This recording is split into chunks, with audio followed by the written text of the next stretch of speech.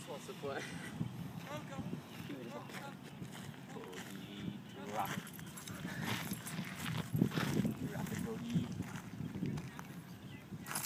No! he just waits until I get close and then runs away. He loves that game.